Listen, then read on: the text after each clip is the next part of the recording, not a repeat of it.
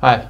Last week we did a video showing how our new noise gate and downward expansion plugin works when we're using it on drums. And we showed how using downward expansion we can remove some of the room reverb sound and some of the ringiness of the cymbals.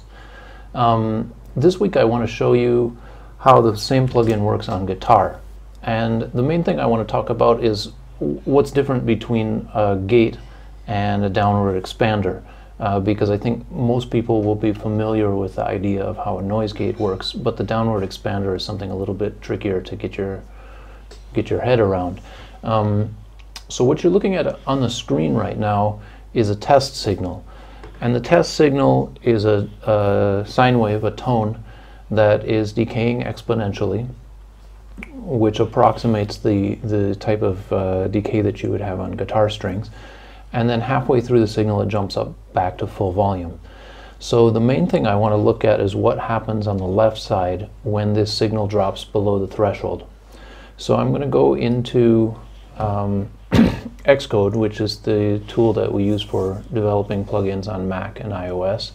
And um, I've got a test function called test noise gate, which is um, generating this test signal and then processing it through the noise gate. So currently the noise gate is disabled.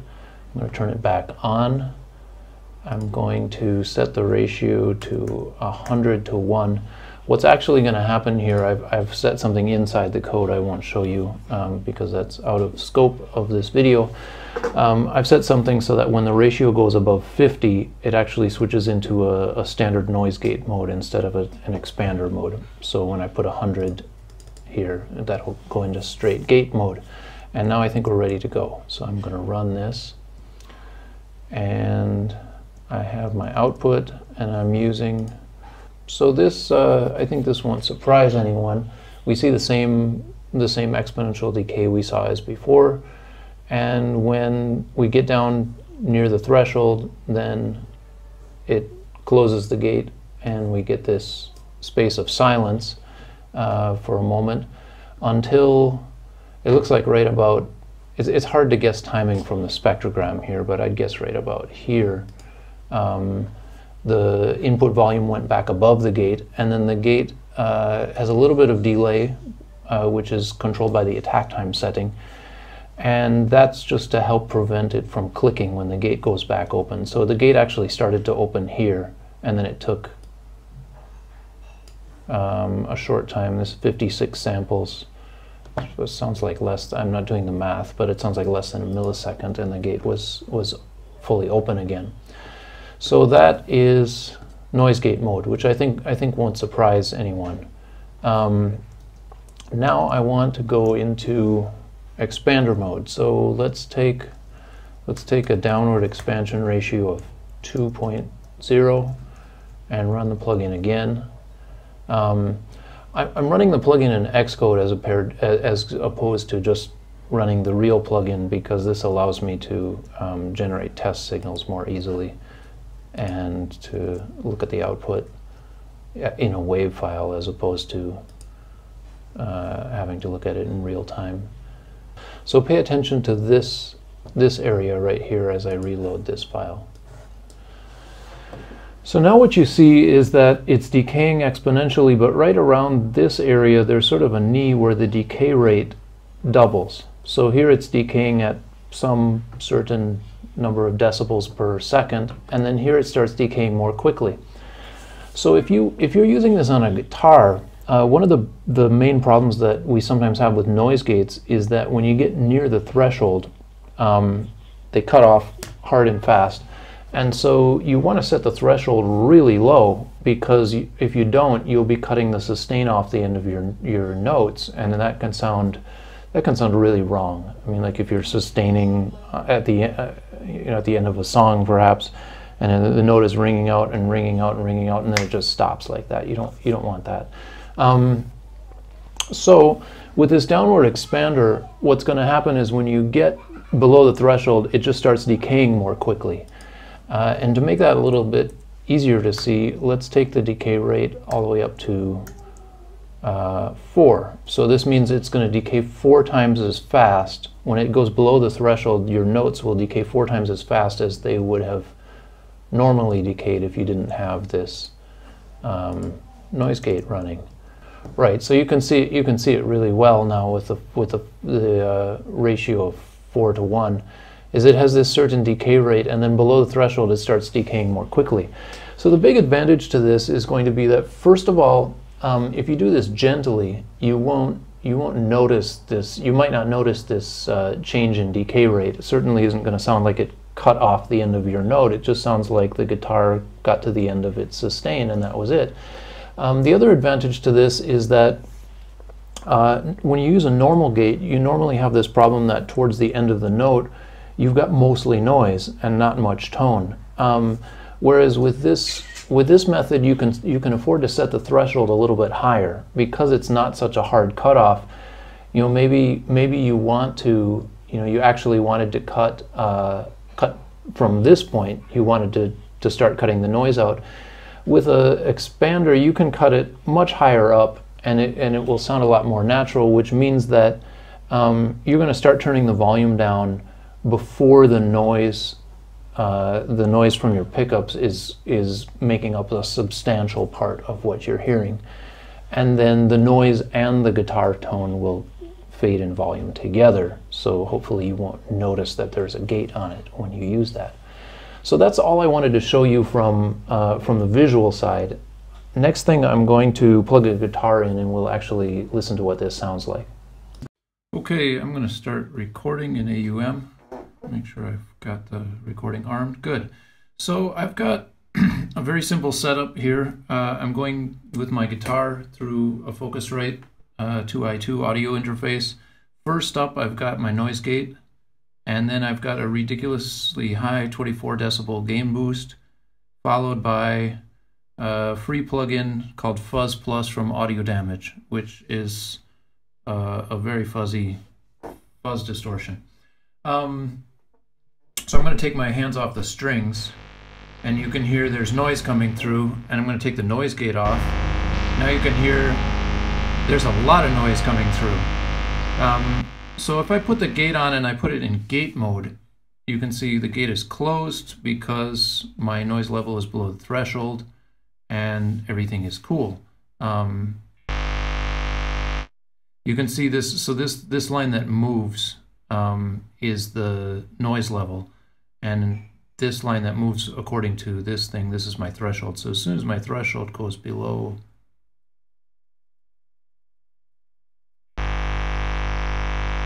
threshold goes below the noise level, the gate is open, and that's standard gating mode. But um, the problem with gating mode is like this. I'll play a, a power chord here.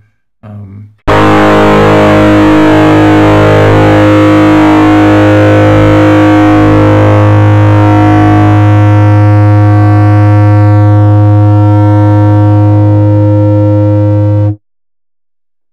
kind of weird the way that cuts off.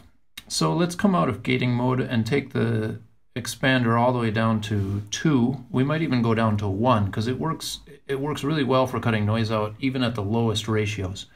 Um, and then we'll put the threshold a little bit higher. In fact, I'm going to take my, my fingers off the strings and adjust the threshold until the noise level is reasonable. So you can hear we've still got noise coming through with my fingers. I'm using a bridge single coil pickup on a Strat. But the noise gate is cutting out, really a, a, lot of noise is getting cut out here. So now let's listen to what happens as the notes, uh, as a, to play a chord and let it decay.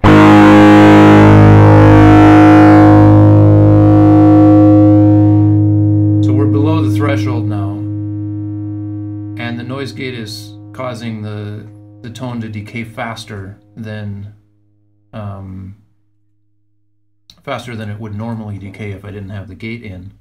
Um, in fact, let's let's do that again, and I'm going to take the gate in and out as it's decaying. I wonder if that'll work. Let's see. Play a lower chord.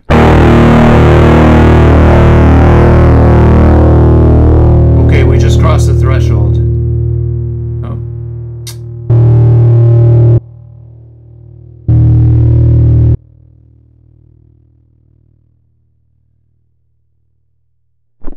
So you can see we've still got sustain, but the cool thing about this is that you never heard the noise gate cut out, because in fact it, it never actually cut out. Uh, it, is, it is a little bit. You can see it kind of oscillating between negative 60 dB and closed here. Um, let's take this ratio right all the way down to the bottom. See what happens.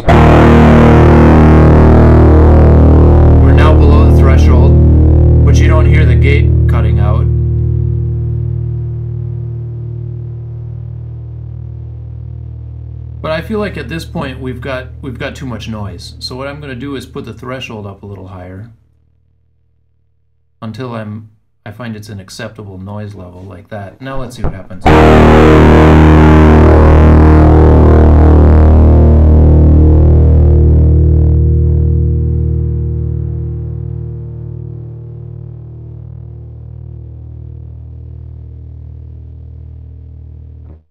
Feel like that's still that's still a little too much. I think I I think I liked it better with this higher this higher thing. Let's let's take the ratio right up to let's try 3.5 and we'll take the threshold down a little lower.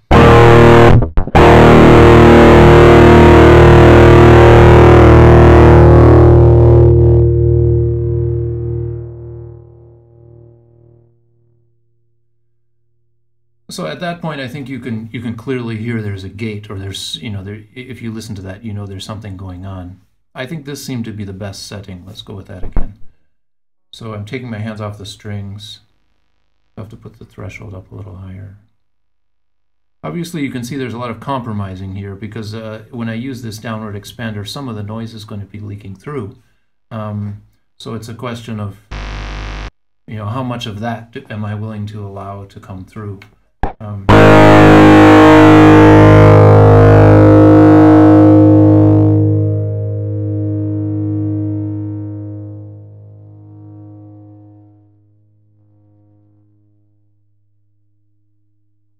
yeah, and that seems okay to me.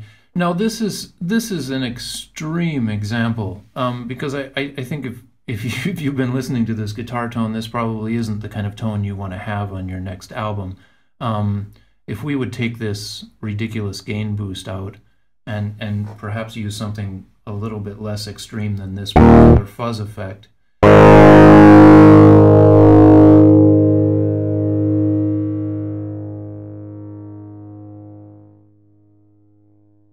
So I think we could take the threshold down now that I don't have that enormous gain boost. I'm taking my hands off the strings. We could take the threshold right down to there.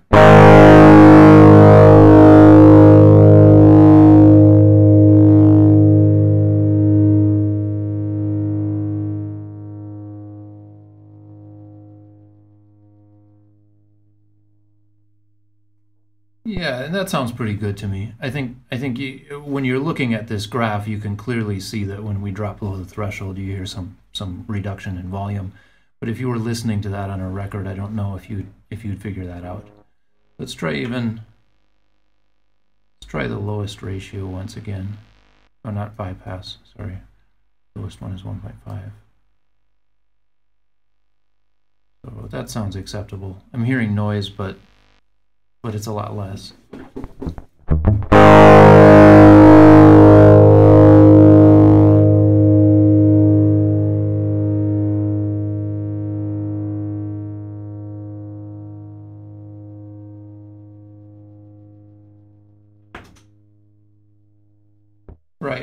That seems perfect to me. Like I, I would feel very comfortable playing with that, and I'd feel comfortable allowing notes to, to sustain out if I want to, and not not being afraid that the gate is going to cut them off in an unnatural way.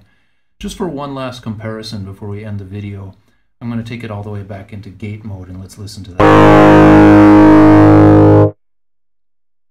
So that's what we that's what we would have had with the gate mode.